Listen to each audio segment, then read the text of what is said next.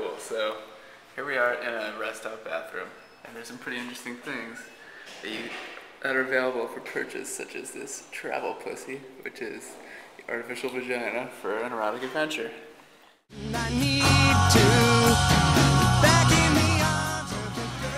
Look at that, Alex.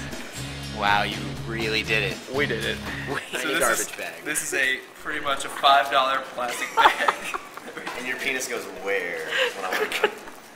So pretty much what we just got is a uh, small opening. Nothing will fit in there. Not even a micro penis. There- Water in.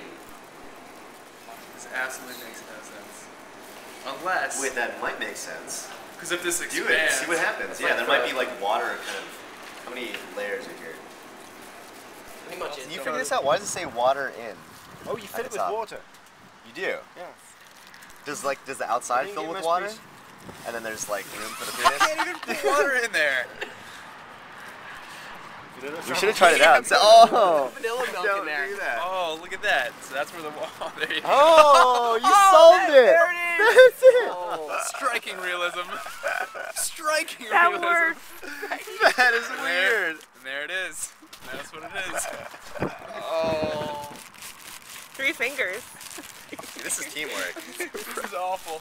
And I'll work the outside. And that's maximum stimulation there. Just like the thought of like being alone and like hearing that sound. Like, that's enough to make you cry. like being alone in like in your truck, just like driving down That the is highway. the ultimate sound of failure right there. The can we- the sound of failure.